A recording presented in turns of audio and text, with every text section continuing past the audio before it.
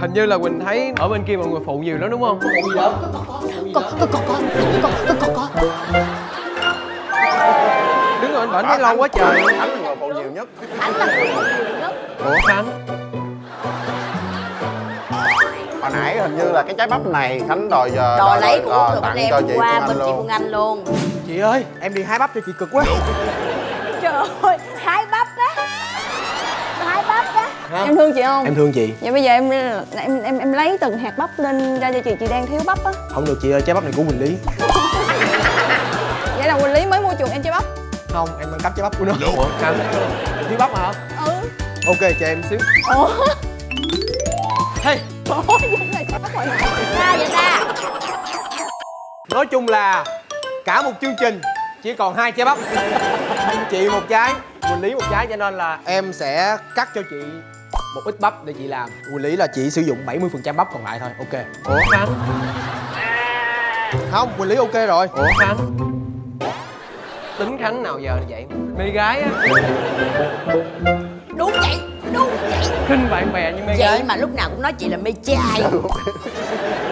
Nhưng mà đàn ông thì phải như vậy. Ủa bình đó là cá tính của một người đàn ông đúng không khánh? Vậy là quỳnh cũng mê gái. Không phải ý là mình uh, ấp hùng ga lăng phụ nữ không chấp nhận một người đầu bếp mà không có cái cái tính tình thật thà như anh. Quỳnh em đừng sợ còn chị. Dạ. khánh vứt đi. Vứt khánh đi. Quỳnh có cần chúng tôi ờ, hỗ trợ bạn gì không? Không à gắn cái viết gì cho mực Ờ, dính. giùm cái mặt nó giùm em rồi làm chảnh chảnh tắt viết thôi chúng tôi ờ, vào bên trong định trang xíu Ờ, cảm ơn quỳnh đã chia sẻ công việc của bạn ha. Chúng tôi sẽ trở lại với ờ, gương mặt ờ, được rồi hả khánh? Trường nhấn dao đủ rồi cho ăn nữa. Chị ơi, ngay mình thưởng thức trước thôi chứ không phải làm cha làm mẹ người ta. Mình thưởng thức trước thôi chị. Năn nỉ đi. Tại sao tôi phải năn nỉ chị đó? Tại vì Ủa? chị đang có quyền hành. Rồi chị cho chị tôi ăn không? không. Giống như tôi chấm quỳnh lý không điểm trời. Ủa khánh?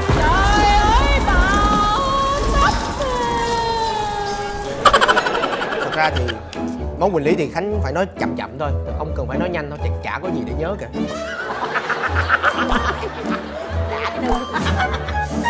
Nó, ý là, sao ta? Nói chung là đậu tôm nó, cũng uh, chưa chín lắm. Họ lo làm gì? Họ lo hút gió. Họ lo rửa nồi. Họ lo make up cái mặt. Thì uh, chắc là cái đó cũng phải là một trừ ok. Đúng không? ok. Nếu như mà cho 10 con tôm thì mọi chuyện sẽ khác. Cho có 5 con tôm thì người thân này người cuối cùng không có ăn được. Không bây giờ có 10 con tôm hay 11 con tôm chị chị hoa cũng sẽ lấy hết thôi. Quan trọng là do ăn ở. Của khánh đúng rồi. À vậy là ý là bạn nói mình ăn ở. Đúng do ăn ở. Quỳnh Lý 7 điểm. Hay á bé